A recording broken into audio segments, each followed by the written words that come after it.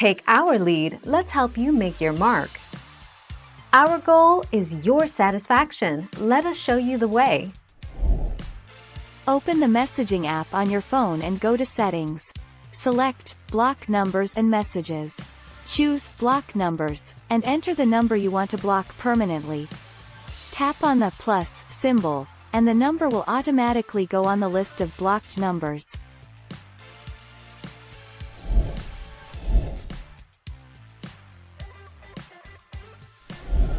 Let's help you make your mark. Phone calls do not ring through to your phone, and text messages are not received or stored.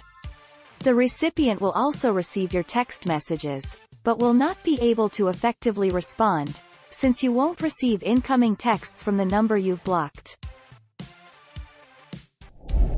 Thank you for watching. Please subscribe and hit the bell notification.